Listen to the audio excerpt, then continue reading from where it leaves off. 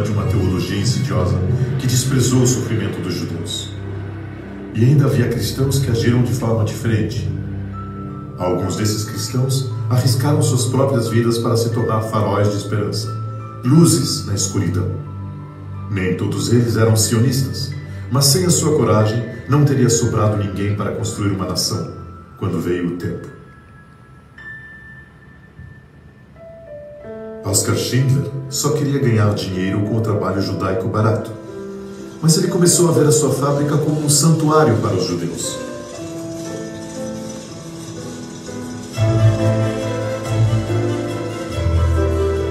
Salvar seus judeus dos trens da morte se tornou sua obsessão, mas custou-lhe toda a sua fortuna. Alguém lhe perguntou por que ele fez isso. Ele disse: Eu senti que os judeus estavam sendo destruídos. Eu tinha que ajudá-los. Não havia escolha. Mas havia uma escolha, e Oscar Schindler fez essa escolha para salvar mais de 1.200 homens, mulheres e crianças dos fornos nazistas. Irena Sandler era uma jovem enfermeira católica em Varsóvia, na Polônia. Quando ela descobriu que 5 mil judeus estavam morrendo todos os dias de fome e doenças por trás dos muros do gueto judeu, ela decidiu fazer algo para ajudar. Documentos de identificação falsos, ela fez seu caminho entre os guardas para o gueto lotado.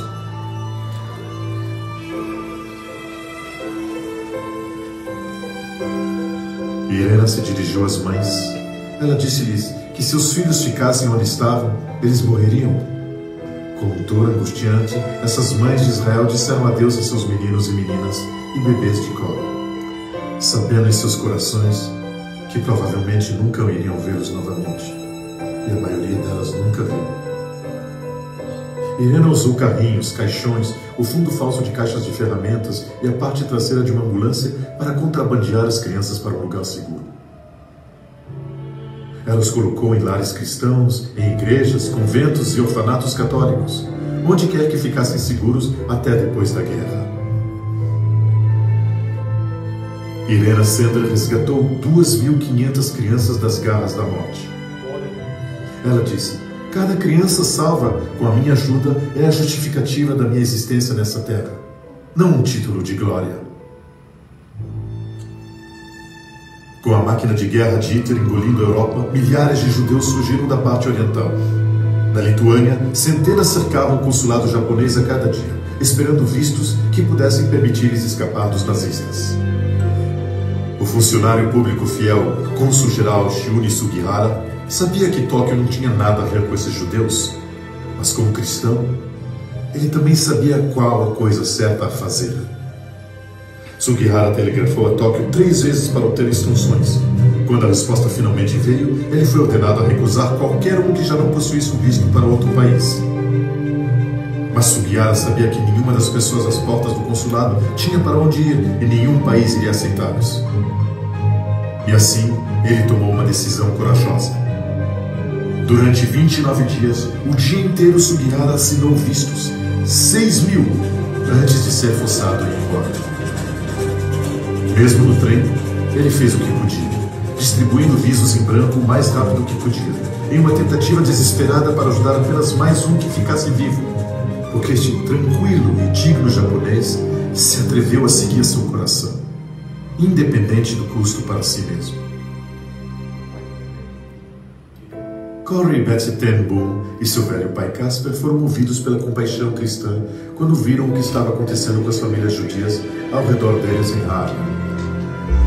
Mas o que poderiam duas mulheres solteiras e um homem idoso fazer? A resposta veio bater à sua porta. Era um vizinho judeu desesperado para encontrar algum lugar para se esconder. Com um cofre embutido no quarto de cobre, eles começaram a abrir sua casa para qualquer judeu que procurasse sua ajuda.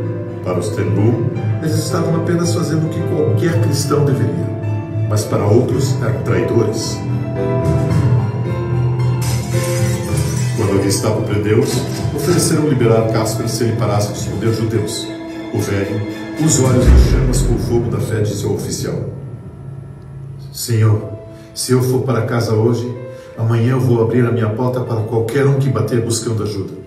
Eu consideraria uma honra dar a minha vida pelo povo escolhido de Deus. Poucos dias depois, Casper ten morreu na prisão. Cora e Betsy foram enviadas para o temido campo de concentração de Ravensbrück, onde Betsy morreu. Corey sobreviveu. Ela passou o resto da sua vida contando sua história sobre o amor triunfando sobre o ódio em um mundo de trevas. Uma história semelhante ocorreu na Holanda quando Mip e Jan arriscaram suas próprias vidas tentando salvar a família de Ana Frank. Na Hungria, 400 mil judeus já tinham sido enviados em vagões para o campo de extermínio de Auschwitz.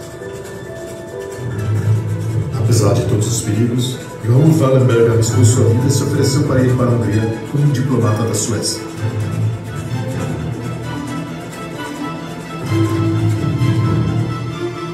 Auge do inverno, Wallenberg se juntou aos milhares de prisioneiros judeus nas marchas da morte para Auschwitz, tentando salvar quem fosse possível.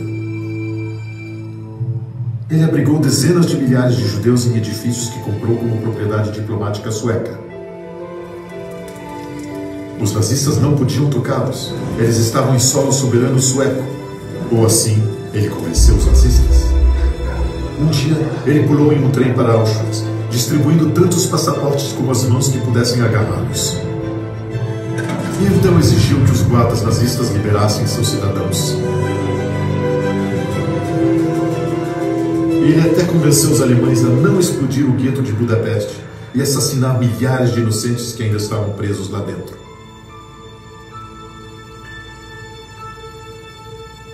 Raoul Wallenberg salvou mais de 100 mil judeus. Ele disse: Eu nunca poderia voltar para Estocolmo sabendo que eu não tinha feito tudo o que fosse possível para salvar os judeus. Ao seu redor há fachos de luz. Dentro de cada um está o nome de uma pessoa que foi salva por cristãos corajosos. Estenda a palma de sua mão e conheça alguns daqueles cujas vidas foram poupadas pela convicção destas luzes na escuridão.